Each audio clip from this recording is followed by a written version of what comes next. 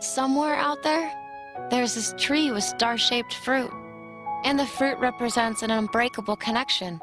So as long as you and your friends carry good luck charms shaped like it, nothing can ever drive you apart. You will always find your way back to each other. An unbreakable connection. Today you will be examined for the Mark of Mastery. Both of you may prevail, or neither. But I am sure our guest, Master Xehanort, did not travel all this way to see our youngest prospects in years fall short of the mark.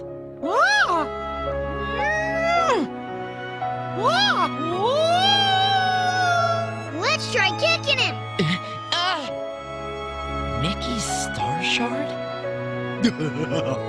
a shooting star and a pixie. Must be me birthday. You have to be strong. Strength of heart will carry you through the hardest of trials. Bippity boppity boo. Oh, would it, uh, would it be all right if I tried on the glass slipper? Excuse me, ma'am. You dropped this. Oh, if you succeed, I will ask the mirror where you might find this Master Xehanort. Terra! You mean the stranger saw you and sent his horde of evil demons after you? What has happened here? Poor Snow White. Look out! What? You know Terra and Aqua? Friend. Circle. What is it? What's going on?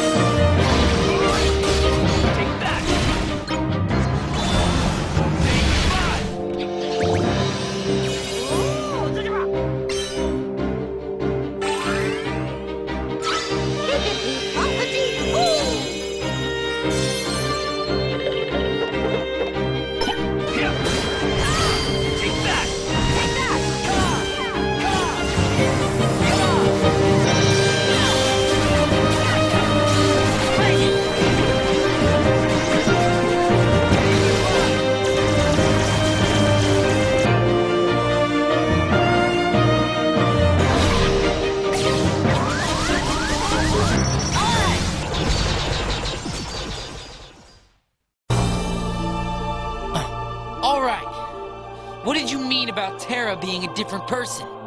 Exactly what I said, idiot. The Terra you know will be gone forever. Uh, a Keyblade? Good. Let's see what you're made of. Help me understand, Master Xehanort. What is it that I failed to learn? You're fine as you are. Darkness cannot be destroyed. It can only be channeled.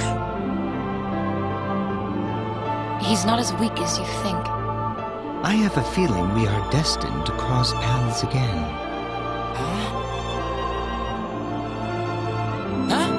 Oh, Hold on. The castle is presently closed.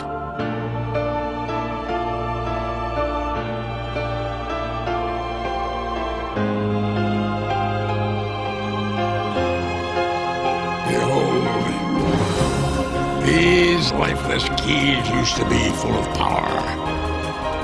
United with the hearts of their masters. On this barren soil, keyblades of light and darkness were locked in combat as a great keyblade war raged.